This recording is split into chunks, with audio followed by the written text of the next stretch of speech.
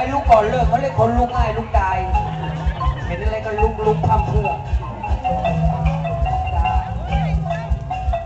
ในระหว่างคุณพ่อเพชรเกษมลงไปรับรางวัลนะคะ เดี๋ยวขอประกาศสักนิดนึงนะคะ วันที่ 12 พฤศจิกายน ปี 53นู่นนะคะ เดี๋ยวทีมงานเพชรเกษมจะย้อนกลับมาทำการแสดงที่บ้านหางน้ำดึงนะคะชิดยิบตาวันที่ 12พฤศจิกา ยนร้านอาหาร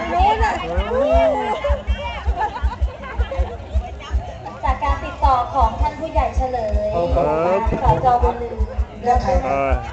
something different. ขอโทษนะครับ